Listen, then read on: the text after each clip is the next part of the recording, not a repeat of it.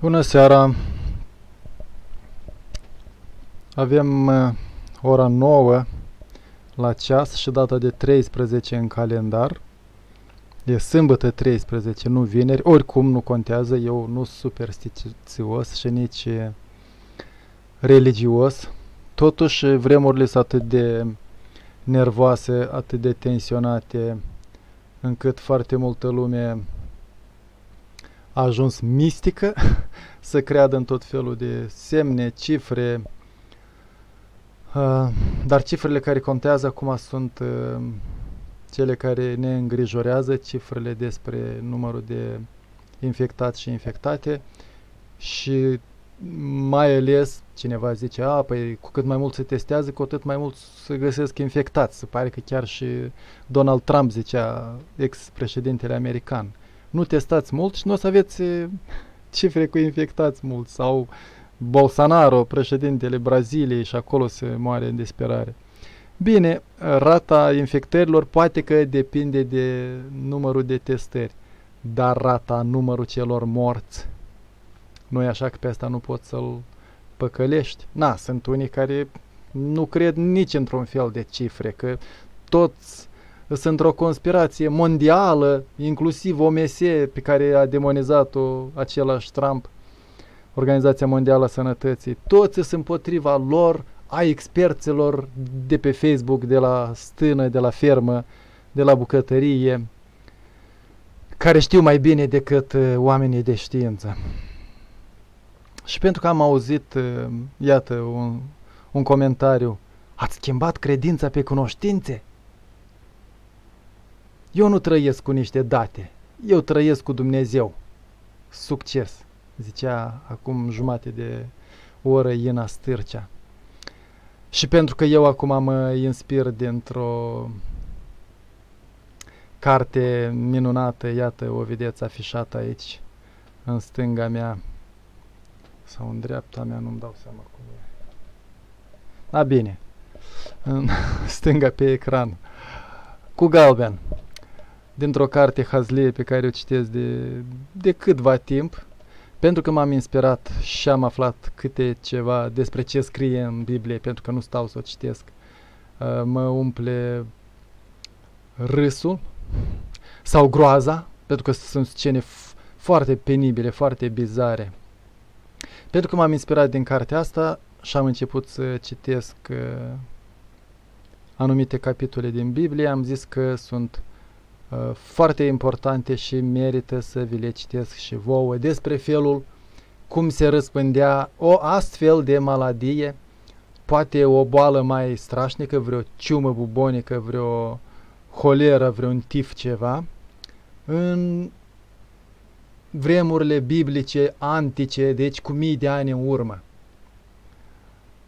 O să vă citesc și o să afișez chiar pe ecran ca să nu ziceți că vă păcălesc citesc din, după cum vedeți, Biblia ortodoxă, deci nu inventez vreo Biblia martorilor lui Jehova, catolicilor sau știu, știu eu cuia, mormonilor, e Biblia ortodoxă.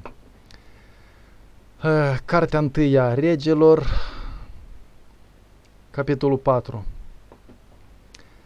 Uh, după aceea, dacă o să vreți, o să puneți întrebări, o să comentați, eu o să citesc comentariile voastre și o să reacționez la ele. Dacă nu, o să rămână doar cu această lectură minunată din Biblie, vreo două mm, capitole despre cum se răspândeau uh, bolile uh, cu câteva mii de ani în urmă, când filistenii se războiau cu izraeliții. Da? Știți, Biblia e uh, o poveste populară, o sumă de povești populare evreiești scrise de un popor care nu știa să scrie atunci, de să transmis ca și balada Miorița sau Meșterul Manole, s-a transmis din gură în gură și după aceea, după câteva sute de ani sau mii de ani, cineva s-a apucat să scrie totuși și ce a rămas din telefonul străcat, iată asta a rămas Biblia uh, în diverse traduceri, în diverse interpretări, în diverse cărți. Iată asta ce a ajuns până la noi, în veacul 21 de la Hristos, că de acolo se numără. Chiar dacă noi, atei, preferăm să zicem era noastră sau cumva. În vremea aceea s-au sculat filistienii să se războiască cu izraeliții și a fost cuvântul lui Samuel către tot Israelul, Samuel fiind un preot de-a lor, un cap al bisericii evreilor. Și au pășit izraeliții împotriva filistienilor cu război și au tăborit la Ebenezer, iar filistienii au tăborit la Afec. Apoi filistienii s-au așezat în rânduială de război în fața izraeliților și dându-se bătălie au fost bătuți izraeliții de către filistieni, care au ucis pe câmpul de lupă ca la 4.000 de oameni. Da? Deci se număra aproximativ 4.000 de oameni muriseră și atunci în bătaia aceea lor cu vecinii lor. Cam 4.000 de oameni câți au murit de coronavirus într-un an în Republica Moldova. În România au murit mai mult de 20.000 de oameni. După aceea au venit oamenii în tabără și au spus bătrânilor lui Israel, pentru ce oare ne-a lovit pe noi Domnul înaintea filistenilor? Să luăm cu noi din Shilo chivotul legii Domnului, ca să meargă în mijlocul nostru și să ne izbăvească de mâinile vrăjmașilor noștri. M-am uitat în dex ce înseamnă chivot și e de fapt o, o raclă, adică un sens larg, poate fi de la o raclă, de la un coșciug, de la o ladă în care se pune mortul, până la o cutie a milei în care se pun donații sau putea fi o lăcriță în care se păstra obiecte de preț. Deci o cutie, chivotul Domnului. Să luăm a, așa. Și-a trimis poporul la Shilo și au adus de acolo chivotul legii Domnului Savaot. Cel ce șade pe Hierovim, iar pe lângă chivotul legii Domnului erau cei doi fii ai lui Eli, Ofni și Finees. Ele cred că tot era vreun preot, vreun rege, ceva de-al lor. Iar dacă a sosit chivotul legii Domnului în tabără, tot Israelul a ridicat strigăt așa de mare încât s-a cutremurat pământul. Da, bucuroși că li s-au adus uh, moaște, nu? Sau ce putea să mai fi în chivotul acela? Auzit filistienii răsunetul strigătelor, au zis, ce înseamnă aceste strigăte puternice în tabăra evreilor? Și au aflat că a sosit în tabără chivotul legii Domnului. Se spune că filistienii aveau altă religie și de aceea ei nu credeau în chivotul acela. Ei aveau alte legi, nici nu erau tăiați împrejur o să vă povestiți vreodată și ce era tăierea împrejur. Atunci s-au înspăimântat filistienii că ziceau, Dumnezeul lor a venit la ei în tabără, apoi au zis, vai de noi căci n-a mai fost asemenea lucruri, nici ieri, nici alaltă ieri. Da, dar mai în țărți au fost așa ceva, că chivutul celălalt aveau de mult. Vai de noi, cine ne va scăpa de mâinile acestui Dumnezeu puternic? Deci Dumnezeu era atât de puternic încât n-a acționat și a lăsat să moară 4.000 de oameni, nu știm exact dacă evrei sau filistinieni, Eh, până când au adus chivotul. Dacă au adus chivotul, gata, s-o spăriet adversarii că au adus eh, moaștele sau au adus, eu știu ce, cutia cu aur dumnezeiesc. Acesta este acel Dumnezeu care a bătut pe egipteni cu tot felul de pedepse în pustiu. Până atunci filistienii nu știe cine îi păzește pe evrei. Când au văzut, când au auzit bucuria lor că li s-au adus chivotul și-au adus aminte că, băi, dar stai că ăsta e Dumnezeu acela care i-a bătut pe egipteni cu tot felul de pedepse în pustiu. Întăriți-vă și fiți curajoși filistenilor ca să nu cădeți în robie la evrei, cum sunt ei în robie la noi. Deci acolo se schimbau. 10-20 uh, de ani erau unii în robie altora, după aceea se băteau o leacă și erau alții în robie altora. Era foarte vesel atunci. Fiți curajoși și vă luptați cu ei și s-au luptat filistienii cu izraeliții și au fost înfrânți aceștia și a fugit fiecare în cortul său. Da, așa bătaie au fost încât după aceea au fugit în fiecare în cortul său. Bătălia aceasta a fost foarte mare, căzând dintre izraeliți 30.000 de mii de pedestrași. Da? Deci, dacă continuăm în felul ăsta, câte 2000 de infectări în fiecare zi și câte 30-40 de morți pe zi, în, până la sfârșitul anului o să avem și noi e, miile astea de morți la, la totaluri. Mai ales când spitalele deja s-a spus că nu mai primesc bolnavi, că nu mai încap și tratându-se acasă, grav bolnavi, o să moară cam toți. În spital șansa de, de supraviețuire e un sfert, o treime, maxim jumate în Occident. Dar dacă te tratezi acasă, cam acolo o să te ia pe țol și chiar că nu o să-ți mai facă nici autopsie, nimic, o să te ducă ăștia și o să te mormânteze și o să ia de la tine COVID și o să dea mai departe și o să fie vesel.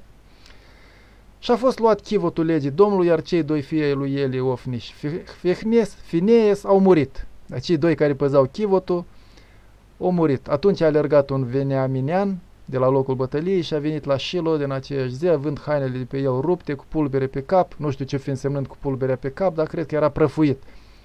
Iar când a venit acela, Elie ședea pe scaun lângă drum la poartă și privea că ce se bătea inima pentru chivotul lui Dumnezeu și după ce a sosit omul acela și a spus în cetate, atunci s-a tânguit strașnic toată cetatea. Da, au aflat uh, ce a fost la, pe câmpul de luptă, cum a fost și mitul acela din Grecia antică, poate mit, dar poate chiar a fost adevărat, cu, cu maraton. A fost o bătălie la maraton și omul a alergat de la maraton până la Atena sau Sparta, unde s-a dus el să ducă vestea despre victorie sau înfrângere. O ajuns în oraș și a zis, am învins și a murit. Și s-a calculat că alergase 42 de km și 196 de metri, nu știu cât, și de atunci se fac alergări pe distanță foarte lungă și se numește maraton. Asta e alergarea de la maraton ca să repete isprava lui acela. Și unii aleargă câte două, trei maratoane, super maratoane și nu mor. Dar acela, dacă nu știu să facă sport, o alergat ca disperatul să spună veste ce bună. O murit. Alergase cu, uh, cum era acolo, cu pulbere pe cap și cu hainele rupte. Auzind el răsunetele tânguierilor, a întrebat, pentru ce este acest boce? Dar a sosit îndată omul acela și a spus toate lui Eli. Eli însă era atunci de 98 de ani, ochii se întunecaseră și nu mai putea să vadă. Da, că i-au murit doi fii și au murit 30 de mii de izraeliți. Și a zis omul acela către Eli, eu vin din tabără, chiar azi am fugit de pe câmpul de luptă, iar Eli a zis, ce s-a întâmplat fiul meu? Vestitorul însă a răspuns și a zis, izraeliții au fugit din fața filistinienilor și s-a făcut în popor ucidere mare atât de puternică era pute, uh, influența chivotului celui, încât uh, izraeliții luau bătaie uh, tot cu chivot. Amândoi fiii tăi, Ofni și Fineie, s-au murit și chivotul lui Dumnezeu a fost luat. Deci, un fel de capeț.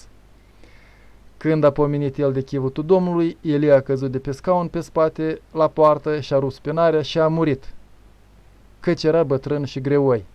Da? Ce, ce moarte veselă la 98 de ani și când afli că ți-au murit copiii pe câmpul de luptă și au fost furat chivotul Domnului, tu, uh, care ai fost 40 de ani judecător în Israel, uh, cazi de pe scaun, pe spate, îți rupi spinarea și mori pentru că, erai, pentru că ești bătrân și greoi. Da, stă scris în Biblie, v-am zis și capitolul care. Iar nora lui, femeia lui Fineis, era însărcinată și aproape de naștere. Când a auzit vestea despre luarea chivotului Domnului și despre moartea socrului său și a bărbatului său, a căzut în genunchi și a născut, căci apucaseră durerile ei și pe când murea, ea, da, atunci era în mod normal să, să cam moară o femeie la naștere, pentru că nu exista obstetrică, ginecologie și nici moașă și în ăștia care și pe unde apuca, tot felul de boli sau metode idiote sau condițiile din pustie aceea făceau ca, nu știu, fiecare a doua, a cincea femeie la naștere să moară. Vezi, nici nu spune că a fost un caz ieșit din comun. La ei, în mod normal, mai și murea femeie după naștere. Și că, pe când ea murea, femeile care stăteau în prejurul ei ziseră, nu te temi că ai născut băiat. Da, poți să mori liniștit că ai născut băiat. Dacă era fată, trebuia să teamă, că avea să aibă aceeași soartă ca mama, probabil. Ea însă nu a răspuns și n-a dat semn de luare aminte pentru că murise. Și au pus pruncului numele Icabod, nume frumos de, de evreu din pustie. S-a dus slavă din Israel din pricina pierderii chivotului Domnului și a morții socrului și a bărbatului ei și a zis ea, s-a dus slavă din Israel căci s-a luat chivotul Domnului. Cam repetă Biblia uneori. Trecem la capitolul 5. Atunci au luat filistienii chivotul Domnului și s-au dus la Ebenezer la Șod, din Ebenezer Ezer la Șod. Apoi au ridicat filistinienii filistenii chivotul Domnului și l-au vrut în capiștea lui Dagon și l-au pus lângă Dagon. Iar a doua zi s-a sculat a așdotenei dis de dimineață și iată Dagon zăcea cu fața la pământ înaintea chivotului Domnului. Și au luat ei pe Dagon și l-au pus iar la locul lui. Ăsta era zeul lor, dar chivotul era zeul evreilor. Și s-au sculat ei de dimineață în ziua următoare și iată Dagon zăcea cu fața la pământ înaintea chivotului Domnului, dar capul lui Dagon și amândouă picioarele și mâinile lui zăceau tăiate pe prag, fiecare deosebi. Și rămăsese numai trunchiul lui. Vă dați seama ce gelos era Dumnezeu evreilor că se răzbuna pe zeul filistenilor. De aceea preoții lui Dagon și toți când vin în capiștea lui Dagon și Așod nu calcă pe pragul lui Dagon până în ziua de astăzi, ci pășesc peste el. și a apăsat mâna Domnului asupra așdotenilor așdodenilor și i-a lovit și i-a pedepsit cu bube usturătoare pe cei din Așdot și din împrejurimile lui, iar înăuntru țării s-au mulțit șoareciși și s-a lățit în cetate deznădejde mare. Cam așa apare ciuma și în romanul cel al lui mm, Albert Camus, un scriitor francez. Apar întâi șoarece șobolani și după aceea primii morți de, de ciumă și după aceea moare fiecare al treilea, al cincilea, al zecelea. Văzând această ajdotenie, au zis să nu mai rămână chivotul Dumnezeului Israel, că e grea mâna lui și pentru noi și pentru Dagon, Dumnezeul nostru, și apoi au trimis și au adunat la ei pe toți mai mari filistienilor și le-au zis, ce să facem cu chivotul Dumnezeului lui Israel? Iar gateienii au zis, să treacă dar chivotul Dumnezeului Israel la noi în Gat. Și au trimis la Gat chivotul Dumnezeului Israel. Deci, ca să vedeți, vestigiile astea bisericești, cum transmit uh, virusul, boala, dintr-un oraș în altul. De la Ajdot la Gat. Iar după ce l-au trimis, a fost mâna Domnului asupra cetății acelei cu străsnicie mare și a bătut Domnul pe locuitorii cetății de la mic până la mare și s-au ivit pe ei buboaie. De aceea au trimis chivotul Domnului la Ecron, iar când a sosit chivotul Domnului în Ecron, au strigat ecronienii și au zis, chivotul Dumnezeului Israel a venit la noi ca să omoare și pe poporul nostru, atunci au trimis și au adunat toate căpetenile filistienilor și au zis, trimiteți de aici chivotul Dumnezeului lui Israel, lăsați-l să se întoarcă la locul său ca să nu ne ucidă pe noi și pe poporul nostru, căci groază de moarte era în tot orașul și mâna Domnului a apăsat foarte tare asupra lor de cum venise acolo chivotul Dumnezeului lui Israel. Cam așa s-a întâmplat și când au cucerit uh, europenii America sau primele insule din, uh, din Marea Caraibelor. Au adus cu ei sifilis și tot felul de boli despre care americanii nu știau. Și până să înceapă ei stai cu sabia să ducă credința acolo și să măcelărească populația, mare parte din populația amerindienilor au murit de bolile aduse din Europa. La fel și aici. De la evrei, din, din uh, chivotul lor, iată că au luat uh, niște ciumă cu, cu bu, boaie. Și aceia care nu muriseră fuseseră loviți cu buboaie, așa încât plânsetele cetății se înălțau până la cer. Și capitolul 6, ca să vedeți cum au scăpat de șumă. Și a stat chivotul Domnului în țara filistienilor șapte luni și s-a umplut țara aceea de șoareci. Atunci au adunat filistienii pe preoți, pe ghicitori și pe descântători și au zis, ce să facem oare cu chivotul Domnului? Învățați-ne cum să-i trimitem, cum să-l trimitem la locul lui. Iar aceia au zis, dacă voi să trimiteți chivotul legii Domnului Dumnezeului lui Israel, să nu-l trimiteți fără nimic, ci aduceți-l jertvă pentru păcat și atunci vă veți vindeca și veți afla pentru ce nu s-a îndepărtat de la voi mâna lui. Apoi au mai zis, ce fel de jertvă pentru păcat trebuie să-i aducem? Iar aceia au zis, după numărul căpetenilor filistenilor, cinci buboaie de aur și cinci șoareci de aur. Da? Deci dacă vedeau mult șoareci și ieșau buboaie, ce s-au gândit? Hai să facem din aur chestiile astea. Deci au început să închine la bubi și la șoareci săraci atât de primitivi erau dacă nu aveau medicină și nu știau de la ce vine, hai să căutăm metode. Căci pedeapsa este una și asupra voastră și asupra căpetenilor voastre. Așadar, faceți niște chipuri cioplite de buboaie de ale voastre și niște chipuri de șoareci de ai voștri care pustiesc pământul și dați slavă Dumnezeului lui Israel, poate că își va ridica mâna deasupra voastră, deasupra Dumnezeilor voștri și deasupra pământului vostru. De ce să vă învârtoșați inimile voastre, cum s-au învârtoșat inimile egiptenii, egiptenilor și faraon? Iată când Domnul și-a arătat puterea, asupra lor atunci ei au lăsat și aceia au plecat. Luați dar și faceți un car nou și luați două vaci care au fătat întâi oară, care n-au mai purtat jug și înjugați vacile la car, iar viței lor duceți-i acasă. da, era important ce o să fac cu viței dacă au luat uh, vacile care recent o fătat. Apoi luați chivotul Domnului și îl puneți în car, iar lucrurile cele de aur care îi se aduc jertfă pentru păcat, să le puneți într-o lădiță alături și dați-i drumului să se ducă. Deci două lădițe, un chivot cu ce era acolo de la evrei și altă lădiță cu aur de la filistinieni, filisteni, cu buboaie și cu șoareci de aur. Să, uit, să vă uitați însă, dacă el va pleca spre hotarele sale, spre Bet Shemesh, probabil un oraș evreiesc, atunci acest mare rău, rău ne l-a făcut el. Dacă nu va porni într-acolo, atunci vom ști că nu ne-a lovit mâna, mâna lui, ci aceasta ne-a lovit din întâmplare. Și au făcut ei așa, deci se mai întâmpla. Uneori se mai întâmpla să vină ciumaș fără chivotul evreilor. De data asta li s-au transmis de la chivot, de la bătălie aceea. Și au făcut ei așa, au luat două vaci care au fătat întâia oară și le-au înjugat la car, iar viței i-au oprit acasă. Apoi au pus chivotul Domnului în car, iar lădița cu șoariți cei de aur și cu chipurile ceplite de buboaie au pus alături de chivot și au pornit vacile de dreptul pe drumul spre Bet Shemesh, dar îți dai seama săracile vaci când le hami prima dată la un car. Și au ținut calea mereu înainte, mugind, dar neobrindu-se și neabătându-se nici la dreapta, nici la stânga, iar căpetenile filistienilor au mers în urma lor până la hotarele Bet Shemeșului.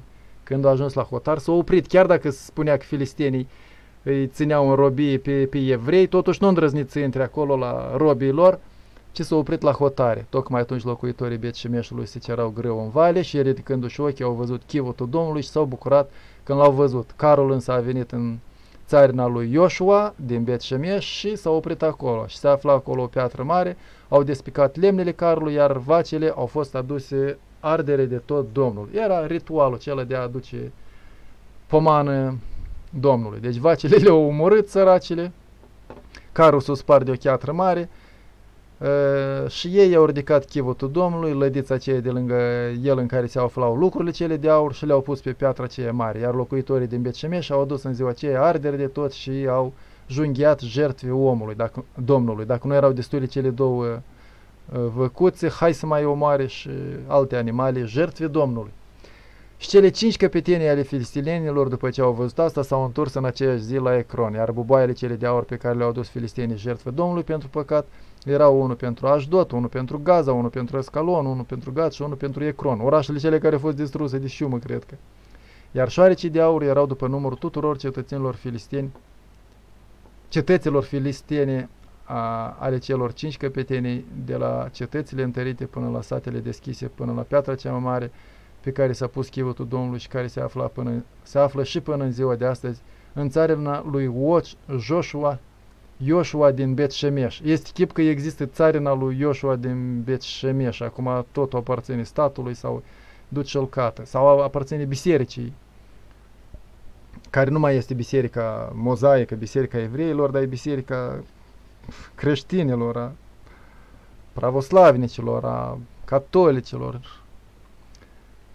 E mare nebunie acolo.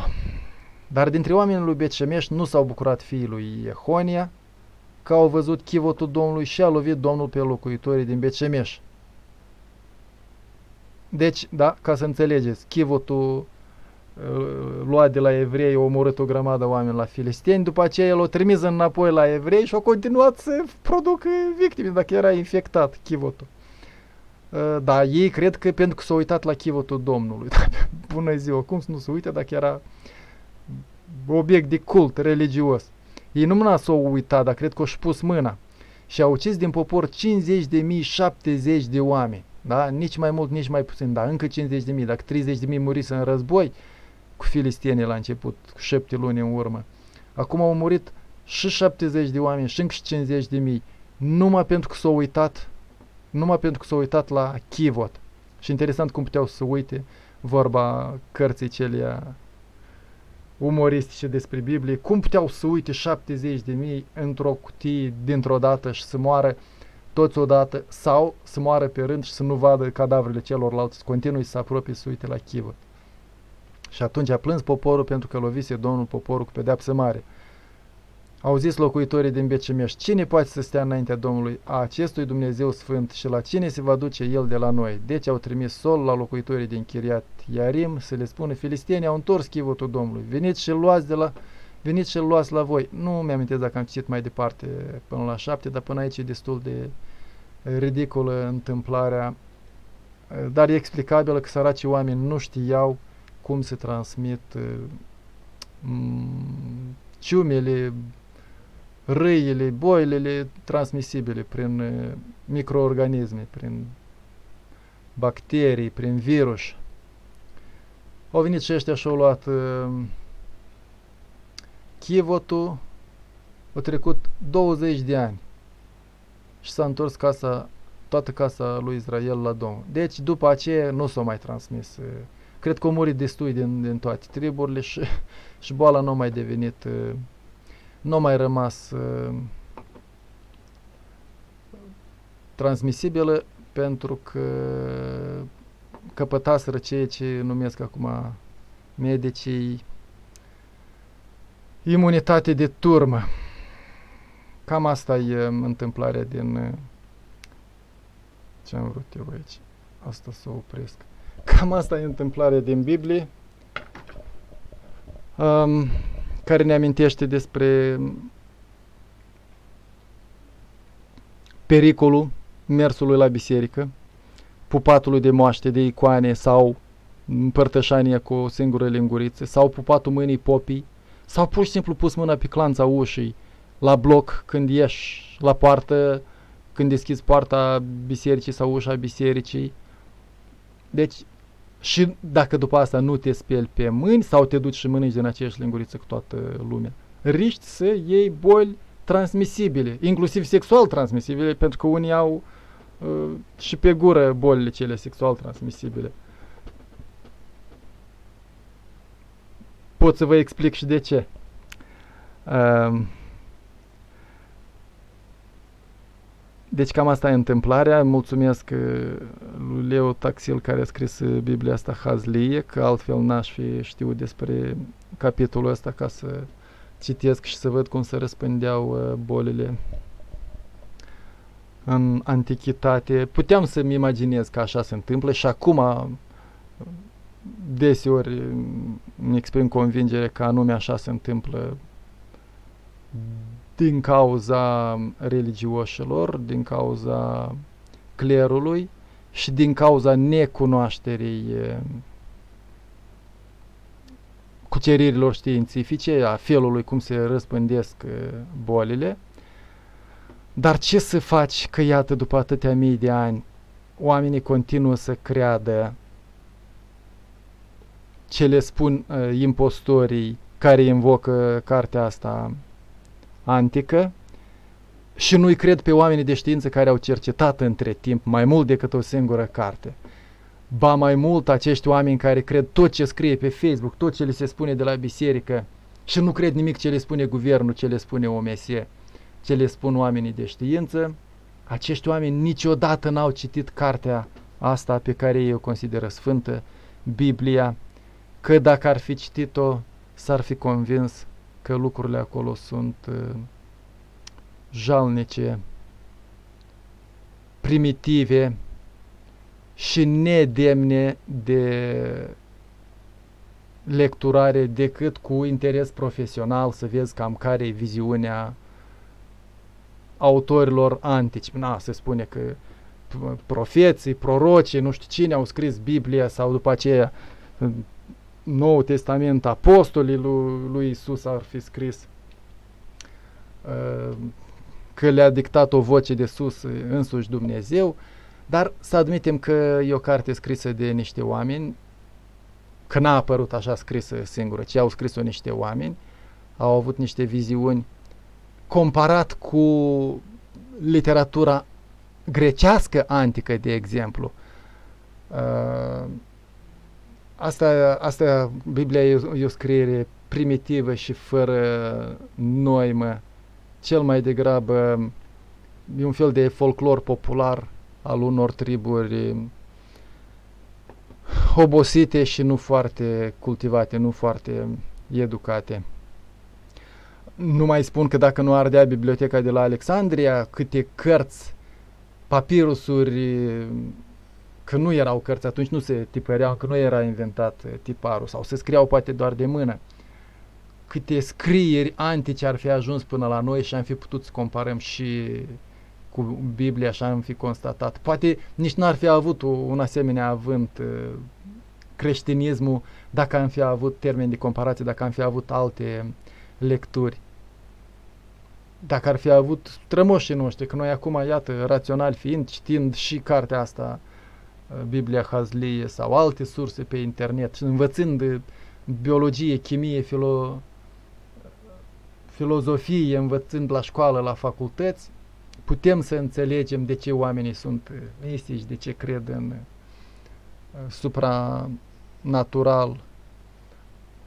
Dar atunci, în antichitate, oamenii nu prea puteau să facă chestia asta sau riscau să fie omorâți, cum mi s-a întâmplat săracului Socrate, tot era acuzat că nu se închină zeilor. Uh, deci, anticii, în epoca medievală, mai ales în mileniul acela negru de dominație creștină în Europa, de inchiziție, de cruciade sau de creștinarea forțată prin foc și sabia estului Europei, da? Rusia a fost creștinată prin foc și sabie și alte teritorii. Dacă nu se întâmpla asta în ultimele două milenii, acum poate că știința ar fi permis să prevenim apariția acestui coronavirus sau să îl, să o rezolvăm, să îl rezolvăm în doi timpi și trei mișcări. Da, așa mulți oameni au rămas cu, cu gândul în peșteră, au rămas cu gândul la, la mitul ăsta, la poveștile astea, care li se spun cu Dumnezeu, ați văzut de la ce am pornit uh, relatarea asta. Și nu au încredere în ce le spun oamenii de știință. Spălați-vă pe mâini, păstrați distanța, evitați uh, aglomerațiile, inclusiv ceremoniile religioase sau concerte sau parastasuri, mormântări, pentru că e pericol de contaminare. Și când aveți ocazia, și iată în România, aici unde sunt eu, de grabă o să apară ocazia, vaccinați-vă. Eu deja mi-am făcut cont, aștept data de 15 să mă pot programa și o să merg neapărat la vaccinare voluntară, pentru că astea sunt singurele posibilități să scăpăm de pandemie. Altfel, cum am avut anul trecut două luni de lockdown, iată o să avem acum vreo două săptămâni de lockdown, după care o să vă scăpați iar la Paști, la Blajeni, o să vă scăpați la biserică, la Țintirim uh, și o să complicați din nou lucrurile, o să evitați să vă vaccinați și o să o ducem așa mult și bine cum au dus-o, ați văzut, și filisti, filistienii săraci care au luat chivotul Domnului și cei care au primit uh, șoarecii de aur înapoi și buboaiele de aur, o să o ducem așa ca în antichitate, ca proștii. Am un singur comentariu până acum de pe cele 3-4 pagini pe care transmit eu uh, înregistrarea asta, uh, emisiunea, intervenția asta mea live. O citesc și după care probabil o să o opresc pentru că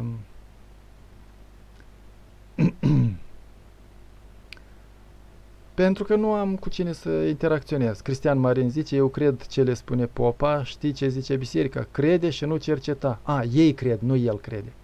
Dacă ar fi după preoți, nici pământul nu ar fi rotund, ar fi tot o tipsie. Da, e ca o tavă așa, e ca o plăcintă.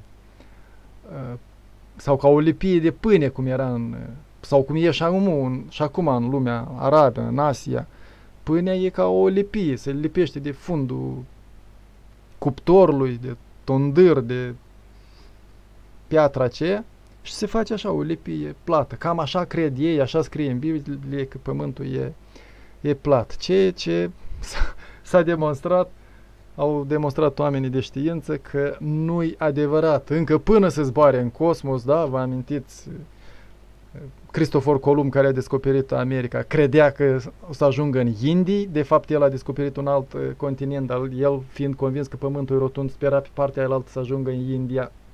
Totuși a subestimat uh, dimensiunea Pământului, e mult mai mare decât se aștepta Columb. Iar Magellan după aceea, în câțiva ani, a înconjurat Pământul sau expediția lui a înconjurat Pământul pentru că pe el l-au cam mâncat uh, papuașii prin uh, Oceania, pe niște insule unde poposise în drum spre casă, dar a demonstrat, a demonstrat că pământul e rotund și că poate fi înconjurat.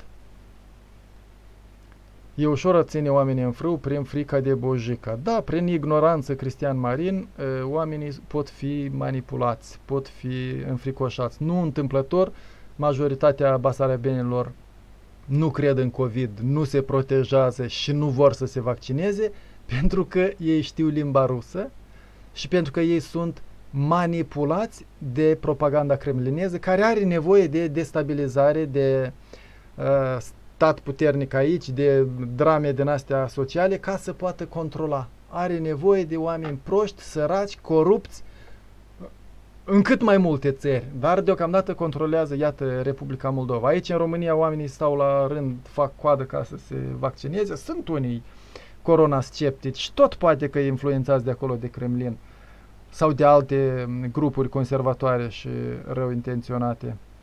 În Republica Moldova, nici medicii, am înțeles, în Găgăuzia nu vor să se vaccineze. Sperăm că o să se vaccineze măcar cu antivirusul rusesc și o să devină cobai sistemului farmaceutic rusesc, care s-a grăbit încă în august, nu știu când a început el vaccinarea, fără ca să facă testele necesare.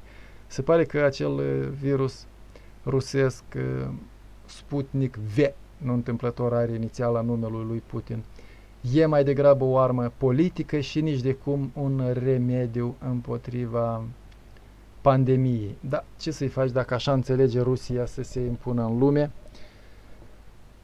Um, Cristina Popa mă laudă și zice că a fost necesară emisiunea și, mă mulțum- și vă mulțumesc, mă bucur că v-a plăcut. Aliona Rotaru zice că mă ascultă cu interes. V-am citit din Biblie, ați văzut scrie acolo, e Biblia ortodoxă, dar uh, recunosc, repet, m-am inspirat din uh, Biblia Hazlie, pe care o găsiți pe internet, dacă veți vă pun uh, link în transmisiunile mele ca să o accesați în limba română, a fost scrisă cu mai mult de un secol în urmă în limba franceză. Căutați site-uri de sceptici, de agnostici, de atei pe internet. Sau site-uri de știință și informați-vă și despre virus și despre cum se răspândeau uh, molimele pe timpul antic, pe timpul Bibliei și cum a înconjurat Magellan pământul și despre orice ca să vă lămuriți că lucrurile nu sunt atât de simple și nici atât de penibile cum ne sunt prezentate în Biblie că e Dumnezeu și dracu, diavolul și că e doar bine și rău și că sunt doar oameni buni și răi. Lucrurile sunt complicate, cu nuanțe și depinde de dorința noastră de a căuta adevărul sau îl luăm așa de gata, rugumat și vomitat de către impostorii din biserică cu rochii aurite și cu mâna întinsă. Dați bani, dați bani la biserică pentru serviciile noastre minunate. Prin ignoranța oferită de preoți, de fapt preoții își asigură mormântări ca să nu moară de foame. E business, da, Cristian Marin, preoților le convine să și murim din când în când pentru că ei au câștig nu doar de la mormântări, dar și după aceea parastasuri. Țineți minte, să faci pomenire la 3 zile, la 7 zile, la 40 de zile și tot așa praznice parastasuri și lor le vine capica la orice pomenire, la blajini. Hai, vine te rog și la mormântul meu, vine și la mormântele mele. Capica, dă cu capica, dă cu pomană, dă cu ajutorul la biserică ca să-și ia popa un merțan nou cu BMW-ul cel vechi. S-a prăfuit. Atât. Mulțumesc pentru interesul manifestat și pentru participare. Înregistrarea asta o să o bag acuși pe YouTube cu premieră și o să asist la discuțiile live. Dacă o să vrea cineva să mă întrebe ceva, o să comentez. Ungureanu ține toaca cum trebuie, nu picioarele în sus. Mai ții minte? Mă întreabă Cristian Marin, dar eu nu mi-amintesc. A, când el avea ziarul Toaca. Da, da, da, Sergiu Ungureanu. E un personaj ciudat și Ungureanu acela. Am făcut cu el masteratul la Iași, eu la Cuza, el la Politehnică. Făcea microfonul liber lângă teiul lui Eminescu, un copou la Foișor. Microfonul liber, veneau oamenii duminica. Ca după aceea el să o ia hăisa pe, pe calea ortodoxiei și e bun expe- specialist în energetică. Am văzut că apare la televizor, vorbește despre pierderile de energie din casele noastre, pe la geamuri, pe la ușă. A învățat, a făcut facultate bună. Da, s-a scrântit cu, cu ortodoxia asta. Fie ăștia l-au cu ceva la mână, cu vreun sar penal sau cu vreo faptă imorală, eu știu, vreun din ce, vreun pedofilie, vreo homosexualitate, ceva și el nu vrea să afle despre asta și deci șantajându-l îl pun să facă așa căcaturi. Fie totuși e prost și nu deștept cum cred eu. Și crede în tâmpenile astea, dar nu întâmplător s-a dus el la biserica lui Cibric, care Cibric, ați văzut, a afișat drapelele uh, cernosotinților, da, sutele negre din Rusia, care erau uh, armate bisericești ale țarului de, de, de speriat uh, lumea. Deci, Cibric ăsta a afișat drapelul sutelor negre cu galben, alb și cu negru și drapelul flotei maritime rusești, ceva de felul ăsta, niște drapele șovine total rusești, imperialiste. Se pare că era și cu drapelul cu acvela aceea cu două capete, bicefală, care e simbolul și a ortodoxiei, dar și al Federației Ruse și al altor țări slave. El le-a afișat acolo pe biserica aceea pe care a luat-o ci că a ciordit-o să plânge Maricica Levitski, i-a ciordit-o ei de la Biserica Ortodoxă Română și a dat-o Patriarhiei Ruse. Deci Serghei nu întâmplător se duce pe lângă Cibric, probabil are o misiune, că prost nu-mi pare. Atât. Noapte bună.